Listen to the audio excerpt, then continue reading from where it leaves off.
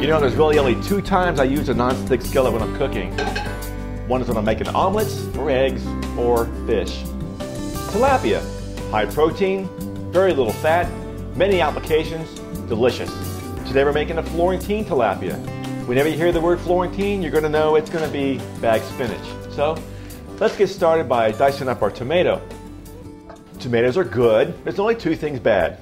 The stem, which we're going to get rid of, and on the inside you have the seeds and the juice. The seeds are bitter and the juice will wash all the flavor out of your recipe. So let's get rid of the juice and seeds. To do this, we're going to use the greatest tools in your kitchen, your fingers. Simply take your fingers, rub them into the tomato, pushing out the seeds and the juice, and any of this white pith on the inside that has no flavor whatsoever. And the slice, I don't care if you're using a samurai sword, you want to make sure that the outer skin or shiny side of your tomato, like a bell pepper, is always facing in the down position. Of course, we're going to use the rolling chop on this, and you want to use the pinch grip. Grab your knife with your finger, index finger and thumb, bring the rest of your fingers down. We're going to use the edge of the blade as a rolling pivoting mechanism. Keep your fingers out of the way, and we'll just come in, make some nice slices. And we'll turn these, which this is a julienne cut, to make a nice dice. Now the recipe calls for wine, which is really important when you're cooking fish because the wine will actually neutralize the fish oils. Now if you're like me and you don't want to really open a bottle and then have a whole bottle left when you're done uh, after your dish, get a bottle of vermouth and leave it on your countertop. It'll last for at least a good month. You can use it for cooking. It's inexpensive and comes in quite handy. Now, don't forget, you want to get that pan good and hot first, at least for about a good minute or two. Never saute in a cold pan. In the meantime, we're going to hit our tilapia with a little bit of kosher salt here, some fresh cracked pepper. We're going to do both sides so both sides taste good.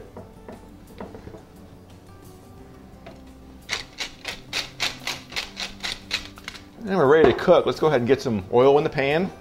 Swirl the coat.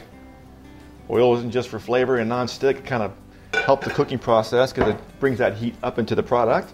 And we'll add our tilapia fillet. We'll put them in the pan. And remember, when you put them in the pan, don't touch them. Let them sit there for at least a good minute to get some bronzing and color. They won't stick that way. And you get some great flavor on them.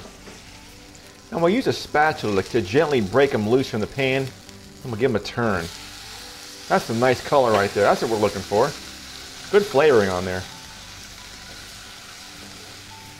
Tilapia cooks really quick and they have a built-in timer. When you see these little mini Grand Canyons opening up here, it's ready. And we're going to place these on our serving plate right in the middle. And we'll make our sauce. To do that, let's add some more olive oil to the pan.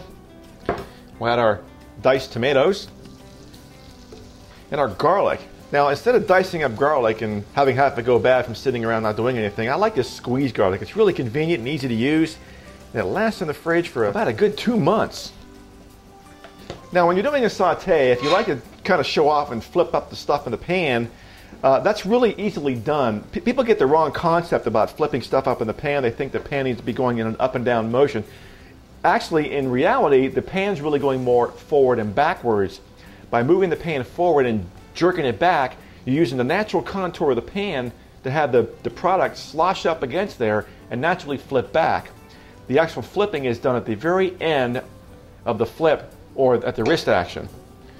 So we're moving forward fast, jerking back fast, and letting this contour do all the work.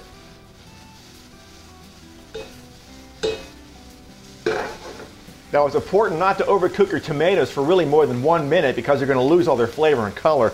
Let's go ahead and add some wine to the pan. And we'll bring it back to a simmer.